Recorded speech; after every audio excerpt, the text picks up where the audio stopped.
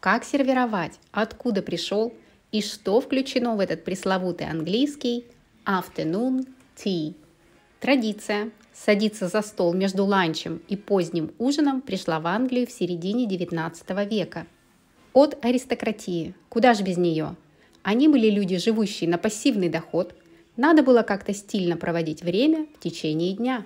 Герцогиня Анна Бетфорд сначала только для себя, а потом и приглашая гостей на afternoon tea, устраивала мини-приемы, чтобы скоротать время за разговорами. Сама королева Виктория была ее подругой, а это уже успех такого стартапа. Традиция начала распространяться в домах богатых людей. Дамы стали наряжаться для этого мероприятия и ходить друг к другу в гости.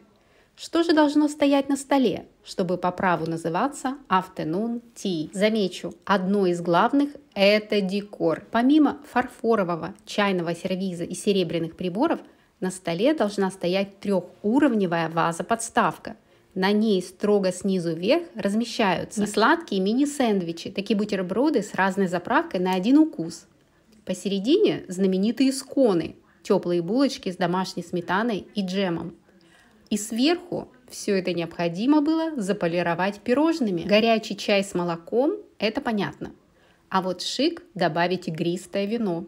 Это самый что ни на есть идеальный afternoon tea. Как же эта традиция адаптировалась в наши дни? Любой приличный отель устраивает afternoon tea во время с 3 до 5 часов дня.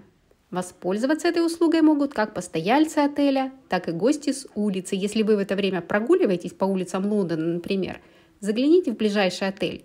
Вам не откажут в afternoon tea. Можно устроить это дома. Для меня это работает так. К примеру, у одного из членов семьи день рождения выпал на середину недели. Само празднование с друзьями и родственниками запланировано на выходные – а день в день можно устроить afternoon tea с семьей с красивой сервировкой, шампанским и пирожными. У меня, как видите, вся посуда на столе микс. Для меня это идеально работает. У меня деревенский дом, и все это разнообразие только придает ему индивидуальность. Должна признаться, на приготовление afternoon tea дома уходит несколько часов.